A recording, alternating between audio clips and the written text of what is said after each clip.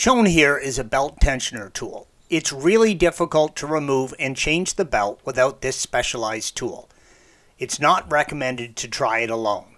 Also shown here is the locking tool for the tensioner. A simple nail or drill bit will also suffice, but the tool has a handy pull end on it. Also shown here is a new drive belt. You're going to remove the fuel tank vent valve. It's pictured here. Simply squeeze the connectors on both the top and the bottom of the valve and pull the connectors off. Squeeze the tabs on the connector and pull down to remove the lower connector to the fuel tank vent valve. Squeeze the tabs and pull up to remove the upper connector on the fuel tank vent valve. Pull the tab on the side of the electrical connector and pull down to remove it. Now simply push the tab on the bracket inward and slide the valve off. In this picture, you can see the pins, green arrows, on the belt tensioner tool. The fulcrum point, yellow arrow, fits over the upper tensioner bolt. The pins fit into two holes in the tensioner arm itself.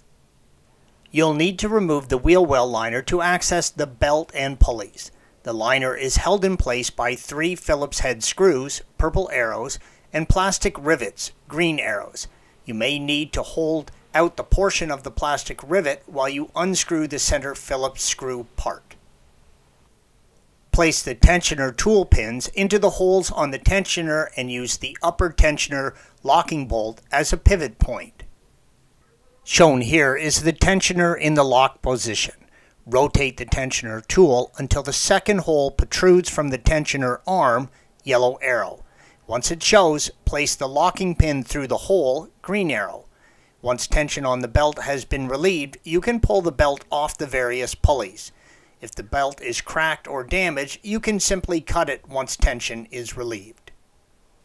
The procedure for changing the serpentine belt on non-supercharged Cooper models is virtually the same, except that the tensioner is different. In this picture, you can see the special tool used for the Cooper to retract the tensioner as well as the lock pin.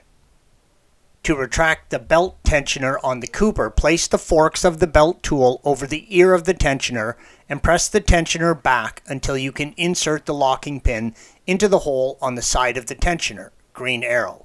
Once in place, you can let the tension off the belt tool and the tensioner is locked. You can now remove the belt. This picture is of a belt tensioner removed from the car and shows more clearly how the tool locks into place behind the ears cast into the belt tensioner arm, green arrows. If you don't have a belt tool, you can also insert a 3 8 drive ratchet into the square hole, purple arrow. Keep in mind that you will need quite a bit of leverage to move the arm, such as a breaker bar. Once the arm has been retracted enough, Install the locking pin into the hole on the tensioner yellow arrow.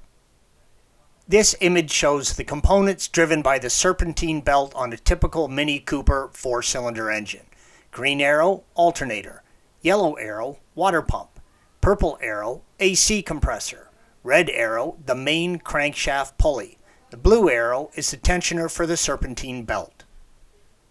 This image shows the components driven by the serpentine belt on a typical Mini Cooper S four-cylinder engine.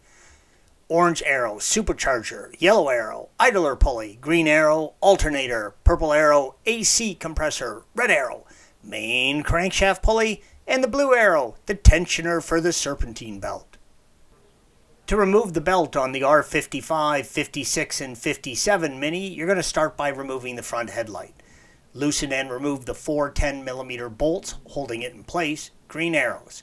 Once free, squeeze the connector on the back of the headlight to unplug it from the car.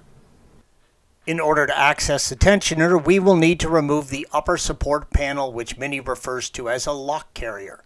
Remove the two 13 millimeter bolts at the end of the panel, green arrows. Then remove the 10 millimeter bolt next to the headlight, red arrows. Next, remove the two Torx bolts holding the right hood catch to the panel, yellow arrows. Now remove the two plastic pins securing the front grille to the panel, purple arrow. The right side of the lock carrier is similar. Remove the two 13 millimeter bolts at the end of the panel, green arrows. Remove the 10 millimeter bolt next to the headlight, red arrow. remove the two Torx bolts holding the left hood catch to the panel, yellow arrows. Now remove the two plastic pins securing the front grille to the panel, purple arrow.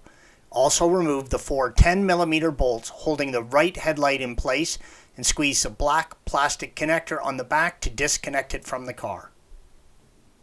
Remove the plastic pin securing the washer fluid reservoir to the lock carrier. The last step to remove the lock bridge is to disconnect the hood release cable. Pry open the end of the black plastic connector. Inside you'll see the cable assembly.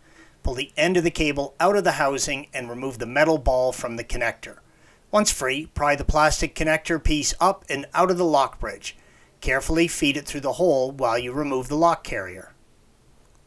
Jack up the front of the car and secure it on jack stands. Remove the right front tire and begin to remove the wheel housing liner. This is held in place by plastic Phillips head screws, green arrows, another Phillips fastener, blue arrow, one 10 millimeter plastic nut, two Torx screws, purple arrows. Once all the fasteners have been removed, carefully remove the liner. From inside the engine compartment, use a 30mm wrench to turn the belt tensioner assembly clockwise. Once fully turned, press the small pin, green arrow, in. This will lock the belt tensioner and slacken the belt. From inside the wheel well, locate the small plastic pull tab located on the water pump friction wheel, green arrow. Note, it will be difficult to see this as it's tucked up inside. Pull the tab out as far as it will go. This will release the tension on the belt, which rides in between the friction wheel and the crankshaft pulley. Now snake the old belt out from inside the engine. Take the new belt and fit it over all of the pulleys. Resecure the pull tab inside the friction wheel and rotate the belt tensioner clockwise again. As you do, it will release the locking pin. Now just reinstall the wheel, liners, lock bridge, and headlights. Thanks for watching. Be sure to subscribe to our channel and check out another video in this series.